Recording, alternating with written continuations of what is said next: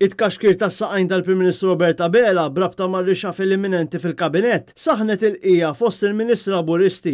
Dan hekk kif xi Ministri tkellmu b'anonimità mal-gazzetta MaltaToday u qalu li dan id-dewmien żied l-ansjetà fosthom fuq il-futur tagħhom fil-Kabinett hekk kif stennew li r-reshuffle issir fi tmiem il-ġimgħa ma' tmiem id-dibattiti tal-Budget fil-Parlament. L-ispekulazzjonijiet ilhom jiġru fost is-segretarjati tal-ministeri dwar se jkunu l-għażliet ta' Robert Abela. Ministru partikolari saħansitra qal li hemm bosta minnhom beżgħana li l-karriera ministerjali se tispiċċa ħesrem hekk kif spiċċaw jiftaħru b'kull ħaġa li għamlu qabel ma Abela jaqtagħlhom rashom. Tant kemm ir-reshuffle hija mistennija li sors viċin il-Prim Ministru saħansitra qal mal-gazzetta li Abela qed iwieżen ħafna affarijiet biex jipprova li b'dan iċ-ċaqliq fost il-ministri tiġih tajba u mingħajr ma jkollu rewwixti, jeħles bil-pulit mill-ministri ta' żmien Joseph Muscat li ħammġu r-reputazzjoni tal-pajjiż. B'dawn il-manuvri, Abela se jkollu problemi kbar fost il-kostitwenti ta' ministri li jrid jeħles minn ma' saqajh, wara li dawn il-ministri rabbew l-għeruq fid-distretti. Miriam Dalli, li rritornat minn Brussell, mistennija tingħata ministeru b'portafoll tant kbir li se jnaqqas sew mid-dekasteri li huma responsabbli minnhom il-Ministru tal-Ekonomija Silvio Schembri u l-Ministru tal-Ambjent Aaron Farrugia.